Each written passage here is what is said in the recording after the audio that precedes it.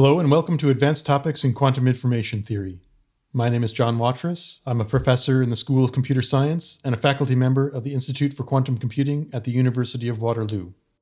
In this video, I will discuss the required background knowledge for this course and then give a high-level overview of some of the topics that it will include. I will also say a little bit more about the logistics of the course, including the format through which it will be delivered and the grading scheme for those of you registered in the course. This course is intended to be a follow up course to another graduate course that I teach called Theory of Quantum Information, which is numbered CS766 or alternatively QIC 820. I will assume that you have familiarity with the contents of that course, which includes the following topics. First is the general formulation of quantum information as described by density operators, quantum channels, and general measurements. In a mathematical sense, these are the building blocks of quantum information, and it is essential for this course that you have a good understanding of this formalism.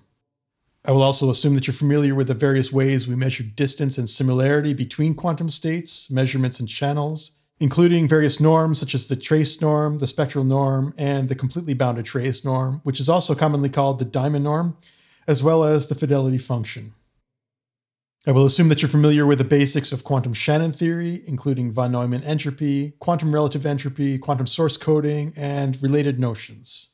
Furthermore, I will assume that you're familiar with separability and entanglement in bipartite quantum systems, and that you have some familiarity with the phenomenon of non locality and the so called LOCC or local operations and classical communication paradigm. Finally, you should have a basic familiarity with semi definite programming and, let us say, some exposure to unitarily invariant measures such as Haar measure. I will note that most students take Introduction to Quantum Information Processing or an equivalent course, either at the undergraduate or graduate level, before taking Theory of Quantum Information. So this course is effectively at the third level of the prerequisite chain in terms of quantum information and computation theory courses. If you've never taken a course on quantum information and computation before, this is definitely not the course you want to start with.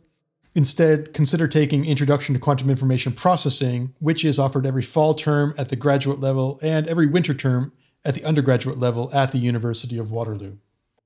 Theory of Quantum Information is typically offered every odd numbered fall term in case you're interested in that course. The topics that I'm planning to cover in this course include the following. First, I'll discuss generalized entropy measures, including max relative entropy and the entropic quantities it induces, such as conditional min entropy, along with smooth variants of these quantities. Also, we'll discuss the hypothesis testing relative entropy, and we'll relate these quantities to the ordinary quantum relative entropy and von Neumann entropy. I will also discuss various applications of semi-definite programming and of conic programming more generally to quantum information theory. This includes Tsirelson's theorem and its implications, the so-called NPA hierarchy of semi-definite programs for commuting operator correlations, and different ways to analyze multi-round interactions such as through the quantum strategies formalism, which is also commonly called the quantum Combs formalism. Another topic to be discussed is the application of unitarily invariant measures in quantum information theory, and in particular, we'll go through Hastings' refutation of the additivity conjecture. Depending on how things go with these topics, there could be more, but I'll have to wait and see how many lectures the topics just described will require, and how many lectures I can actually manage to prepare. Now, with respect to the logistics of the course, let me say a few things. First, obviously, this is going to be an online course. The lectures will be asynchronous. I'll make videos just like this one and make them available online through the course webpage. Now, I've never created or run an online course before, so this is an entirely new experience for me. And I do hope that you will excuse me for all of the deficiencies that you will certainly find in the videos. I do hope that the quality of these videos will improve as the term progresses. I certainly welcome your feedback on the lectures. Your comments and criticisms will certainly be helpful to me as I attempt to improve my skill at making these sorts of videos. Please note that the lectures are considerably shorter than the standard 1 hour 20 minute lectures to which you may be accustomed. So far, the lectures are coming in at about half that length.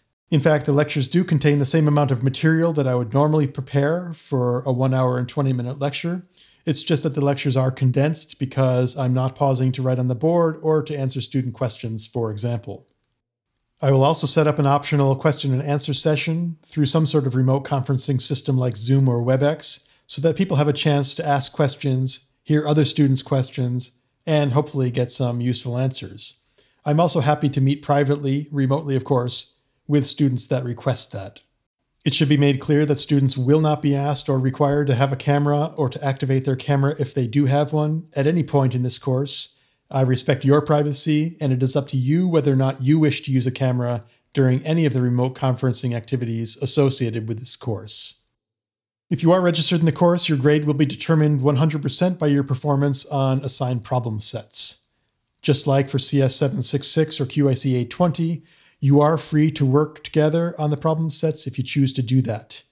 If you don't know anybody in the course, then perhaps through the question and answer sessions, you will get to know other people in the course and form productive working relationships.